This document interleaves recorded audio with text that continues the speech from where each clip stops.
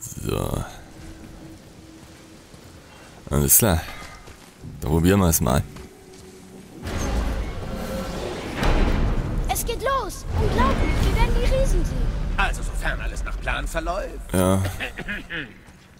Was jetzt, keine Ahnung, der wievielte Versuch ist das jetzt eigentlich, dass wir dahin wollen? Der vierte? Nur zu, stelle Jettenheim ein und dann geht's los. Vermutlich. Ja.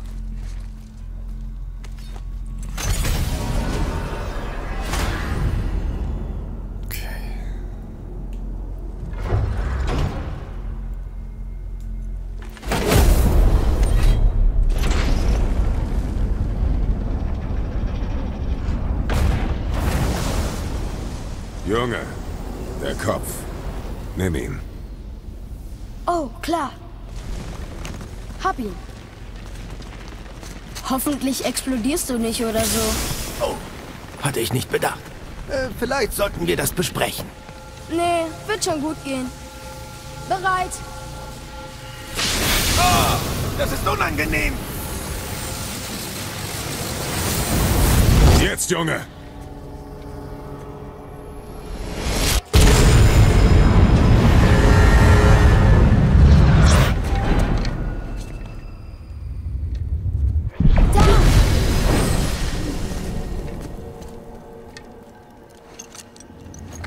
Wir sind fast da.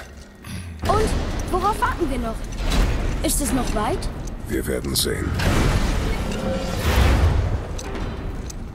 Ah, der Kleine hat sich echt langsam gemausert, hä? Hab ich so den Eindruck, ey. Das ist auch wie die vorhin Auf zusammengekämpft ein haben. Wort, bevor wir fortfahren. Ja. Also das Letzte, was ihr beiden da oben braucht, ist ein verwesender Kopf. Ich warte besser hier. Es geht um dich und den Jungen. Stimmt. Aber wenn dich jemand Äh, entdeckt... bei Sifs verdammt prächtigen Rundungen. Ihr habt es geschafft. Tut mir leid. Das mussten wir sehen. Oh nein. Nein, nein, nein, nein, nein, nein, nein. Ach, verdammt. Na schön. Passt so lange auf den Kopf auf. Ich kann das. Nein, ich kann es nicht. Na gut. Bereit? Komm. Das ist mal eine solide Treppe.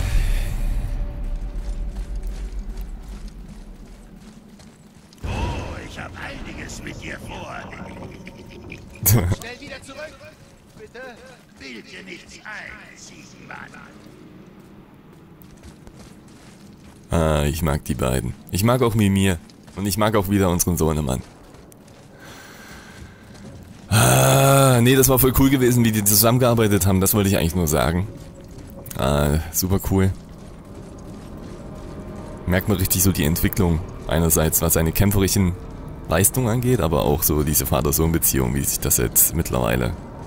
Weiß ich nicht. Gerade das hat sich jetzt richtig offengelegt, ihm alles mehr oder weniger erzählt, so. Zumindest grob erstmal. So wie Zeit war eben, ne? Schöne Sache.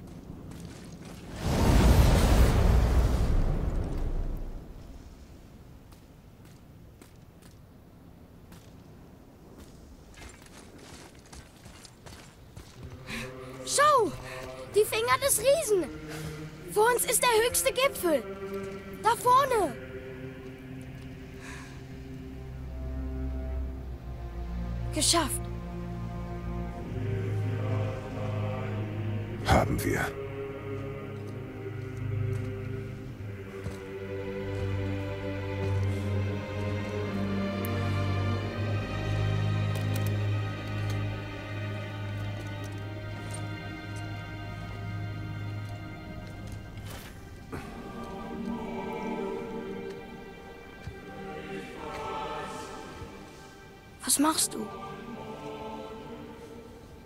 Ich will nichts mehr verbergen.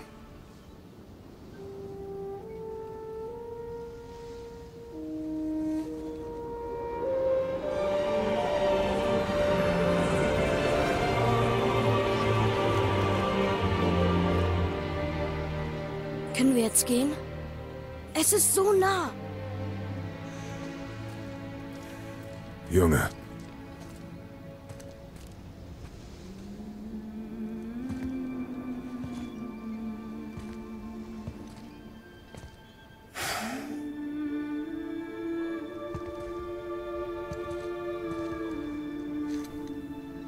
Taxi.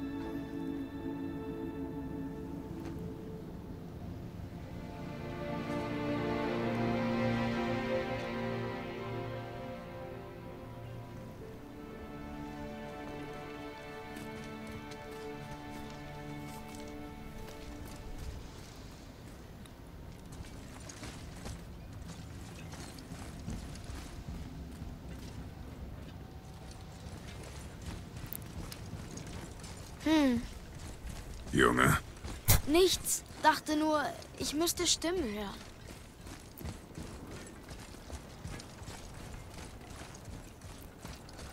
Ähm, es springt hier wirklich von einer Gänsehautzähne zur nächsten Gänsehautzähne. Hallo, ist jemand hier? Habe ich irgendwie schon gesagt, wie fertig unsere Rüstung finde? Vielleicht so fünfmal oder so? Ich sage so gerne mal ein sechstes Mal. Ich finde, ich feiere das gerade übelst. Sieht jetzt sogar jetzt noch besser aus. Wobei jetzt, äh, vorhin, wo es offengelegt hat, ist das besser.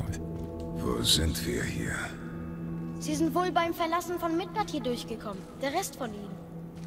Wozu all diese Gesichter? Und wenn das alle Riesen sind, die Midgard Leben verlassen haben? Nicht besonders viele. Hm. Odin und Thor, sie ruinieren alles für jeden.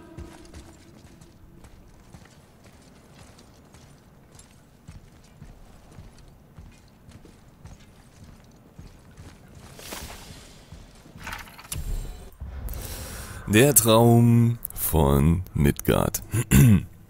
Midgard war ein Traum von dem, was sein könnte, wenn wir gemeinsam arbeiteten. Jütnar, Asen, Wanen, Alben, Zwerge, Unsterbliche vor allem. Es war schön, aber nicht alle können teilen. Manche glauben, dass alles Unkontrollierte wild und bedrohlich ist. Und so wurden wir verspottet, betrogen, benutzt und schließlich abgeschlachtet. Odin und die Seinen wurden aus unserer Welt verbannt, doch das war nicht genug. Der Zorn des Thor und sein grausamer Hammer haben uns in Midgard an den Rand des Abgrunds gebracht. Uns bleibt nur noch der Rückzug, solange noch jemand übrig ist. Odin und Thor hätten alle Riesen umgebracht, wenn sie es gekonnt hätten. Und sie sind damit davongekommen. Ja, es würde mich schon sehr wundern, wenn wir auf, Odi, auf Odin bzw. auf Thor nicht irgendwie noch treffen würden. Ja, aber mal gucken. Moment, hier ist noch was. Wo sind sie jetzt? Die Riesen kamen in ihre Heimat zurück, um zu überleben. Aber haben sie es? Ich müsste sie fühlen, aber ich tu's nicht. Dieser Ort ist tot. Was ist passiert? Warum hat Mutter uns hierher geschickt? Eine Frage ist beantwortet und zwei neue stellen sich. Hm, wer ist der Wächter? Ich fand ja eigentlich von Andreas den Gedanken sehr gut, dass äh, das der Wunsch von der Mutter war. Dass die äh, die Reise antreten, damit die beiden zusammenfinden. So. War eigentlich ein ziemlich schlauer Gedanke gewesen. Die Rückkehr der Wächterin. Wir sehen Midgards Schicksal voraus, überrannt ein zweites Ziel. Weder Odin noch seine Toten dürfen Jütunheim erreichen. Die Wege müssen versperrt werden. Schlange und Wächter sind geblieben. Auf ihn allein liegt unsere Hoffnung. Erst wenn das Verderben das Unzerstörbare befällt, wird der Wächter zurückkehren. Bis dahin warten wir auf eine bessere Welt, ohne Angst, ohne Gier, ohne Krieg. Wir warten auf Erlösung und Gerechtigkeit. Wir warten auf einen Helden, wir warten auf Nachricht, dass sich die Götter zum Guten gewandt haben. Hoffe, diese Welt kommt bald. Hm. Sind wir dieser Held?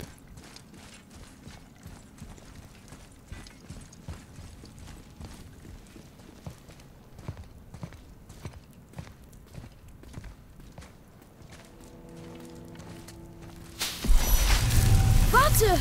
Vater! Hier passiert was!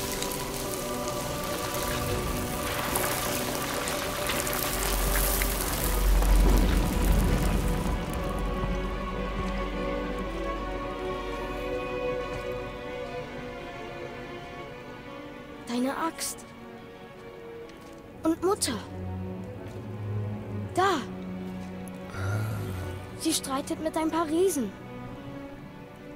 Sie kannte Riesen?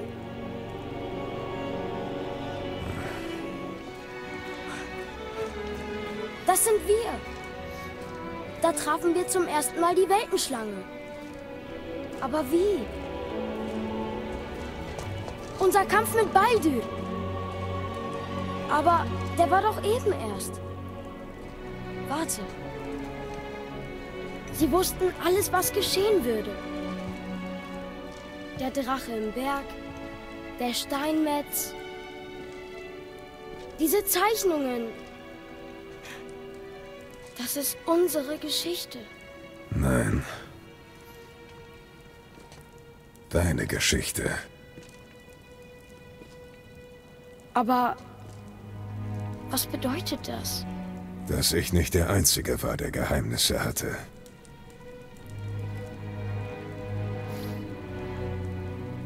Du wusstest nicht. Sie war eine Riesin.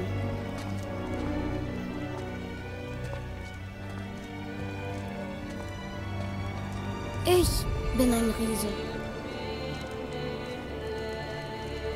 What? Warum das Geheimnis? Sie schickte uns her, damit wir das hier finden. Aber warum so umständlich? Deine Mutter hatte sicher Gründe. Baldur war gar nicht hinter mir her. Er ist die ganze Zeit ihr gefolgt, ohne zu wissen, dass sie nur Asche ist. Sie hatte einen Plan für uns. Dem vertraue ich. Egal was es ist. Außerdem lag sie noch nicht falsch. Na komm. Wir sind dem Ende schon so nah. Ja. Ja, sind wir. Eieieiei.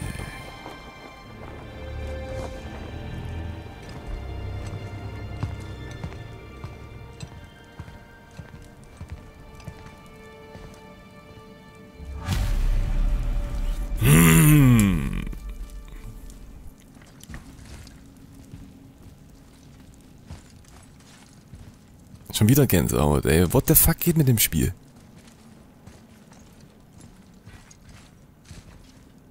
Ähm. Also wenn man sich die Bilder anschaut, zumindest von dem, was da ist, ist Sohnemann der Einzige, der zurückgeht oder zurückkehrt und das überlebt.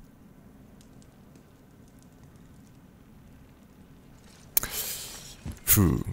Ja, mal gucken. Das Ding ist, da fehlt ja ein bisschen was, ne? Und die Mutter war ein Riese? Ein kleiner Riese oder was? Weil sonst hätte man das ja wahrscheinlich feststellen können. Ähm, das bedeutet also, dass Atreus äh, halb Gott, halb Riese ist. Was ist denn das bitte für eine abgefahrene Mischung? ist ja der voll der krasse Shit. Mischung. Sieh nur. Es ist Mutters. Sie war hier. Sie hat unsere Schritte vorausgesehen. Als wäre sie dabei gewesen. Sie hat uns beschützt und heimgeführt. Beenden wir es. Ja.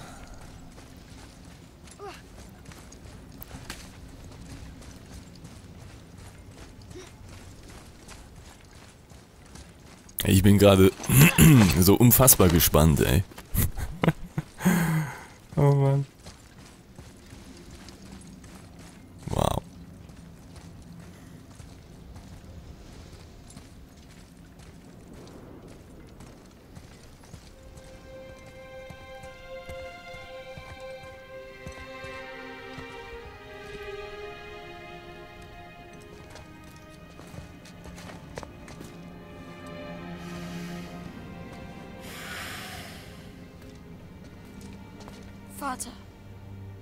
Nein. Wir tun es gemeinsam. Sohn.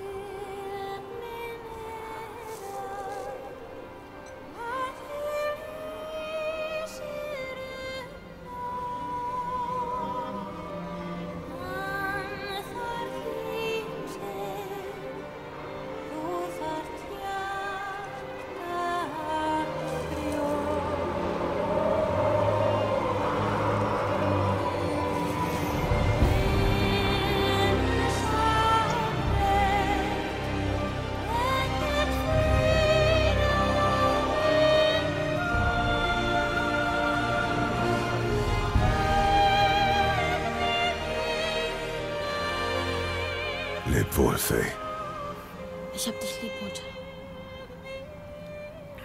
Die Riesen sind wirklich alle weg. Hier gibt's nichts für uns.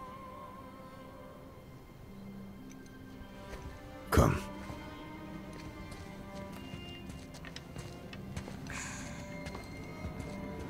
Also, Mutter war eine Riesin.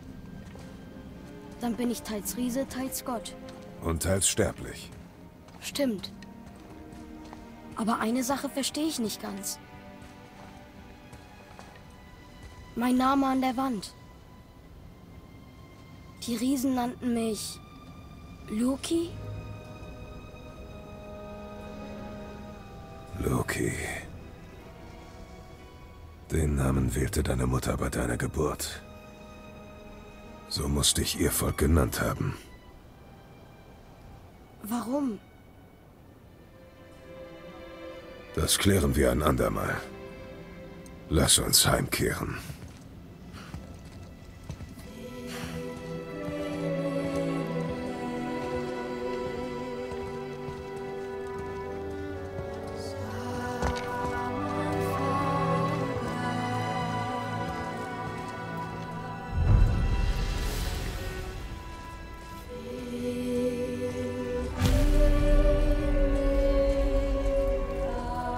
Ergibt wohl alles einen Sinn, wieso wir sie herbringen sollten, zu ihrem Volk. Aber wusste sie, dass es hier so aussieht? Wollte sie, dass wir das hier sehen? Wollte sie, dass wir das weitererzählen oder geheim halten? Ich weiß es nicht. Was sollen wir tun? Ich überlasse dir, das zu entscheiden. Oh,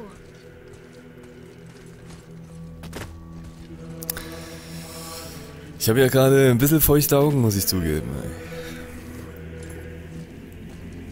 Nimmt einen schon ganz schön mit alles, ey. Krass.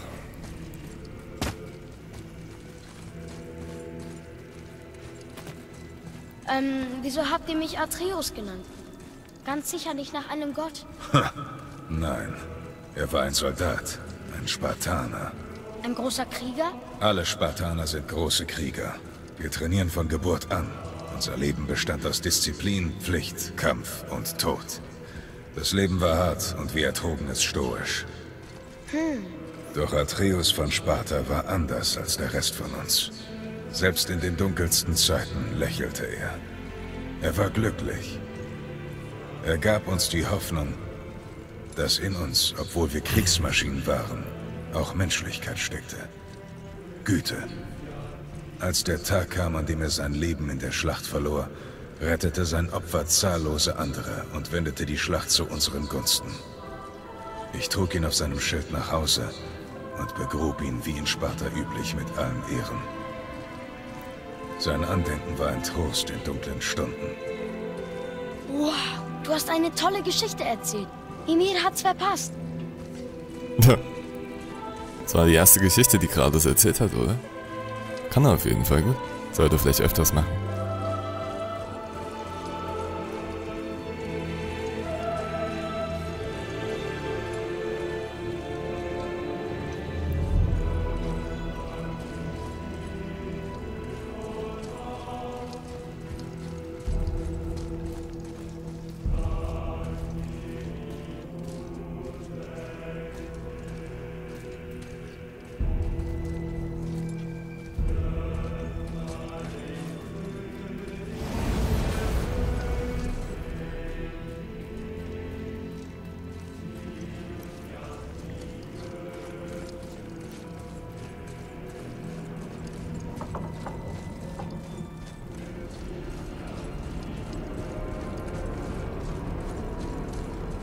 Verstehe, wenn du nach Hause willst. Aber ich wette, da draußen sind noch ein paar Valkyren, die wir befreien können. Oder jemand anders, der Hilfe braucht. Vielleicht hat uns Mutter auch hierher geschickt, um anderen zu helfen. Ich meine, was würde Atreus von Sparta tun? Und was würde Loki tun? Komischer Name. Gut, dass wir deinen genommen haben.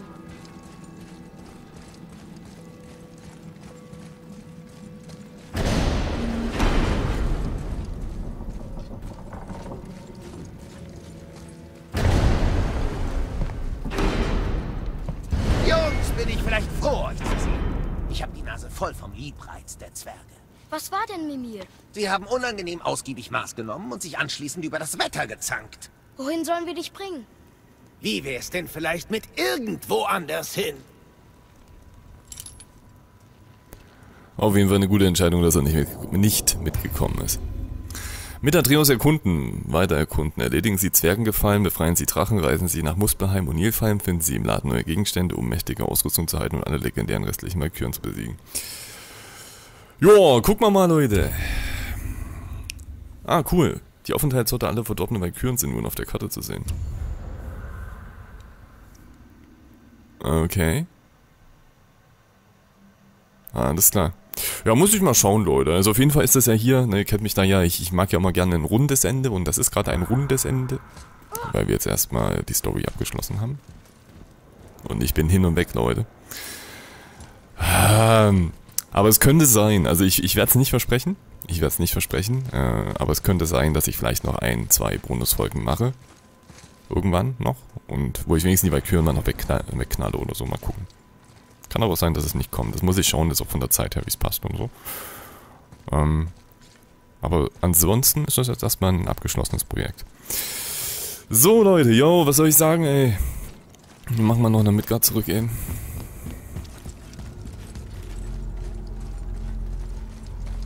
Also auf Odin und so sind wir jetzt gar nicht getroffen. Das schreit doch auf jeden Fall noch nach Fortsetzung, oder? Da kommt doch definitiv noch ein zweiter Bevor Teil. wir nach Midgard reisen, muss ich euch warnen. Es ist mehr Zeit vergangen, als es da ist. Und der Schneefall, der begann, als du Baldwin getötet hast, hat zugenommen. Es ist ein Omen. Omen für den bevorstehenden Winter. Nicht irgendein Winter, sondern ein so harter, dass er drei Sommer lang dauert. Und wenn er um ist, beginnt Ragnarok. Ragnarok. Schnee. Ja, Schnee, noch mehr Schnee und dann das Ende der verdammten Welt. Ungefähr in der Reihenfolge. Noch eine Prophezeiung. Nein, Bruder. Laut Prophezeiung sollte das frühestens in ein paar hundert Wintern passieren. Ihr habt etwas verändert. Ihr wart nicht eingeplant. Okay, das ist sehr interessant.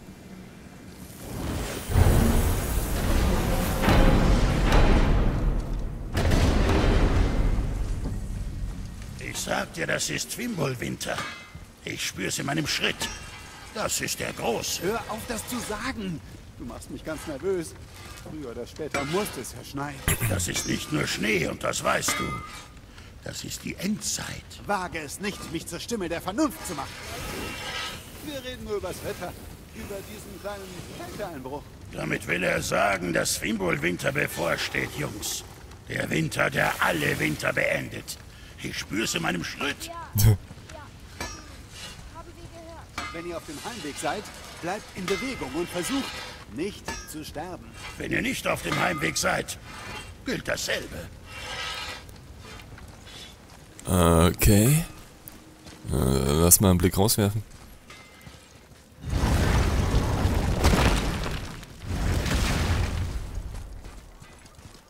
Oh, das sieht doch noch alles human aus. Es schneit halt ein kleines bisschen.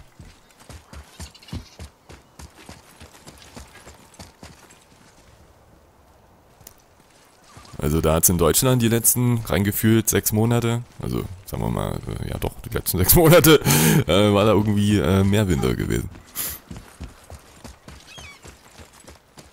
So. Ja gut, bis auf den letzten Monat. Jetzt ist ja wieder schönes Wetter, ne?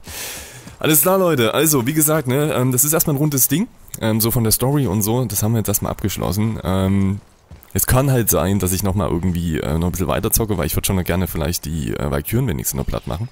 Und dann wird es noch eine Bonusfolge geben. Ich weiß aber nicht, wann das kommt und ob es kommt, so, ne? So, ansonsten würde ich mich für dieses Projekt erstmal von euch verabschieden. Ähm, nochmal so ein kleines Fazit von mir. In wenigen Worten. Äh, ich bin maßlos begeistert. Absolut geniales Spiel gewesen. Also, wow. Also ich, ich hatte auch relativ hohe Erwartungen so, man hat ja, konnte ja schon relativ viel lesen, ne, dass das Spiel ziemlich nice sein soll und alles. Aber es hat irgendwie trotzdem normales übertroffen. Also es war eine super geniale Entscheidung gewesen, ähm, so äh, das ganze komplette Kampfsystem und auch von der Story und alles, das so ein bisschen umzumodeln. Äh, und dass das jetzt auch so in der Third Person ist, etc. etc. Und ich sag mal so, ich denke, wir können uns so hundertprozentig sicher sein, dass da definitiv, äh, ich weiß nicht, ob ein zweiter Teil geplant ist oder äh, erstmal eine Expansion kommt, aber ich denke schon, dass auf jeden Fall auch irgendwann noch ein nächster Teil kommen wird. Das ist ja alles noch relativ offen hier alles. Wir haben ja eigentlich jetzt die ganze Zeit nur erstmal die Asche von unserer Mutter, haben wir jetzt erstmal eigentlich nur irgendwie auf den Berg gebracht. Mehr haben wir nicht gemacht. Währenddessen. So. Ja. Und Odin und so, da, ähm, da ist ja noch was. Also, ähm, und ich denke, dass das wird auf jeden Fall eine Fortsetzung geben. Hundertprozentig. Das ist wirklich ein Neustart der kompletten Serie und der Neustart ist der absolute Oberhammer. Ich bin wirklich hellauf begeistert. Hellheim begeistert oder Hilheim begeistert. Jo Leute, äh, ich hoffe euch hat das Let's Play gefallen. Wie gesagt, könnte sein, dass nochmal eine Bonusfolge kommt. Kann aber sein, dass nichts kommt mehr. Werden wir sehen. Deswegen verabschiede ich mich erstmal so jetzt hier, ne? Bei euch. Ähm, ich hoffe, euch hat es genauso viel Spaß gemacht wie mir. Das Zuschauen. So, alles klar, Leute. Dann würde ich mich sehr, sehr freuen, wenn wir uns beim anderen nächsten Projekt dann wiedersehen. Äh, mal gucken. Äh, also bei mir auf der Liste kann ich ja sagen, auch wenn das jetzt nicht so God of War mäßig ist, das Spiel, aber was, worauf ich mich jetzt als nächstes am meisten freue, ist, äh, kann ich ja schon mal verraten, äh, Jurassic World Evolution. Das ist zwar dann Aufbauspiel und so, ne, alles, aber das ist so das, was ich am nächstes, wo ich mich wirklich am meisten drauf freue, fast dieses Jahr, so neben God of War, so. Äh, mal gucken, was noch so alles kommt. Könnt ihr mal was in die Kommentare schreiben, falls ihr noch irgendwie eine Idee habt. Aber ansonsten ist Jurassic World Evolution so der nächste Titel, äh, wo ich mich, wo ich mega gehypt bin. Ich bin wirklich mega gehypt, was das angeht. Genauso bin ich mega gehypt bei God of War, ob da irgendwann ein zweiter Teil kommt und so. Aber da bin ich mir echt ziemlich sicher. Und dann sehen wir uns auch da wieder. Also, dann bedanke ich mich fürs Zugucken, wie gesagt. Atreus, hau rein. Bist doch ein ganz guter, hä?